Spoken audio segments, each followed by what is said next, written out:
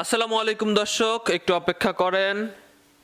যেটুকু সময় তুমি থাকো পাশে, মনে হয় দেহে প্রাণ আছে। বাকিটা সময় যেন জীবন আমার। এখন আমরা একটা ভিডিও দেখব।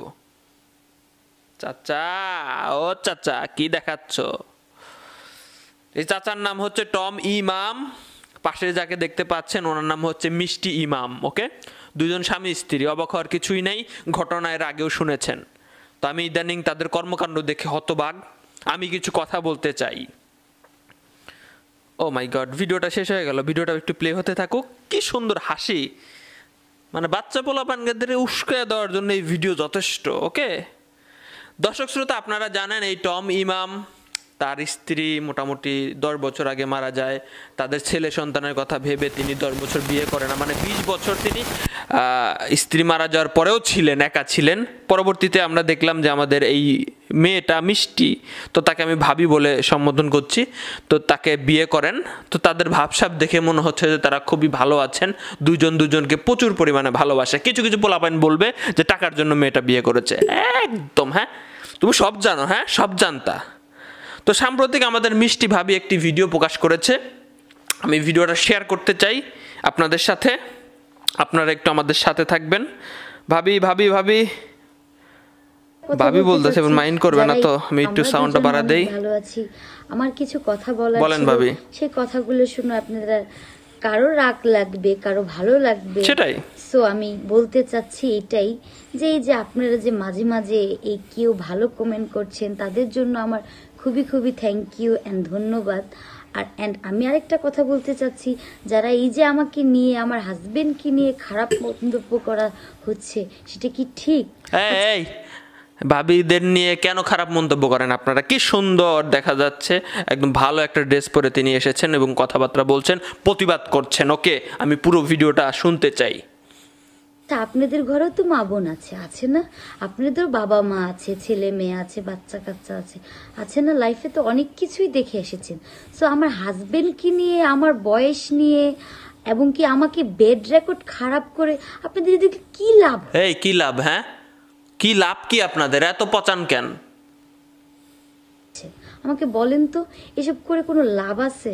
আমি আপনাদের কাছে প্লিজ দোয়া করি যে আপনারা প্লিজ এসব খারাপ মন্তব্যগুলা বাদ দেন ভালো কিছু চিন্তা করেন।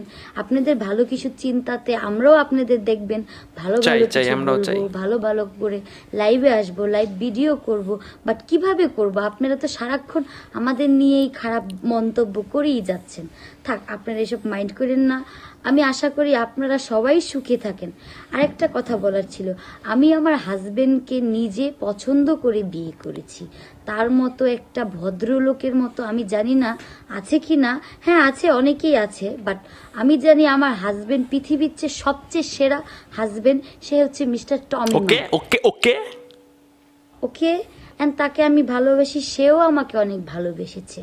সে তার নিজের wife first wife if you don't mind কেউ মাইন্ড করতে পারেন ডাজেন্ট ম্যাটার আমি এগুলো কিছুতেই মনে কিছু নিই না। অ্যান্ড টম শোনো তুমি সারা জীবন তোমার ছেলে মেয়ের কথা চিনতে করে তোমার ওয়াইফ সারা জীবন অসুস্থে সে ভুগন্তিক ছিল। অ্যান্ড কি তার কথাও চিন্তা করে তুমি কখনো বিয়ে করনি। তারপরে রিসেন্টলি সে মারা গেল বিশ বছর হয়েছে।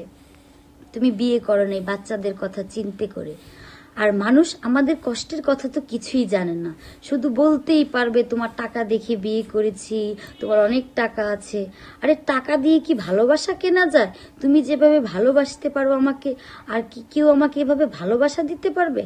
টাকাই ভালোবাসা না, গাড়ি বাড়ি ভালোবাসা ওকে টাকাই ভালোবাসা না গাড়ি বাড়ি ভালোবাসা না অরিজিনাল ভালোবাসা তোমরা চেনই না যারা এদেরকে নিয়ে সমালোচনা করো।